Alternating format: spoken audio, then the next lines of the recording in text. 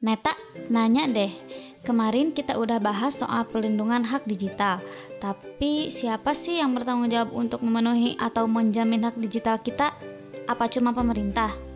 Bener, pemerintah sih salah satu pihak yang bertanggung jawab.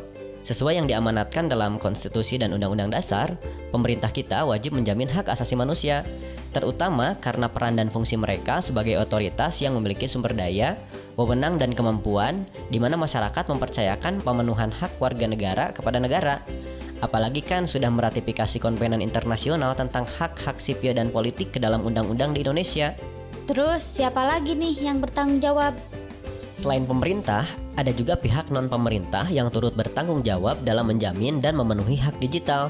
Misalnya, institusi melakukan pengelolaan data digital karyawannya atau platform digital yang mengelola data penggunanya, juga bertanggung jawab memastikan perlindungan hak-hak digital dari karyawan ataupun pengguna platform digital tersebut. Di Indonesia, institusi atau platform digital ini disebut sebagai penyelenggara sistem elektronik atau PSE yang bisa jadi adalah institusi publik maupun privat. PSE adalah perantara atau intermediary dalam pemanfaatan teknologi internet. Platform digital seperti Facebook, Twitter, TikTok, dan media sosial lainnya selain bertanggung jawab mengelola dan melindungi data daripada para penggunanya, juga bertanggung jawab atas pengelolaan konten yang dibuat pengguna atau disebut User Generated Content atau UGC di platform mereka. Dalam arti luas, intermediary atau perantara ini dapat pula berupa penyedia jasa internet atau Internet Service Providers atau ISP. Pertanggungjawaban dari PSE atau platform digital ini kerap disebut juga dengan istilah kewajiban perantara atau intermediary liability. Di Indonesia, hal ini sudah diatur melalui Peraturan Pemerintah Nomor 71 Tahun 2019 tentang penyelenggaraan sistem dan transaksi elektronik beserta peraturan turunannya. Nah, tanggung jawabnya pemerintah dan PSE nih. Tapi, kita sebagai warganet juga termasuk nggak sih?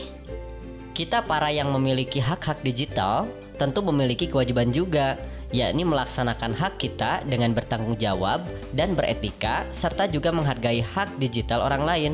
Sebagai pemilik hak digital, kita perlu saling mengingatkan dan meningkatkan kesadaran kita bahwa orang lain juga punya hak digital yang sama dengan kita sehingga urusan-urusan berbeda pendapat yang bukan pelanggaran hak digital ataupun hak asasi manusia bisa diselesaikan dengan sanksi sosial.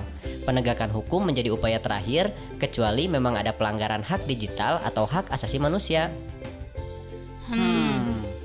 Jadi apa saja ya yang termasuk pelanggaran hak digital itu?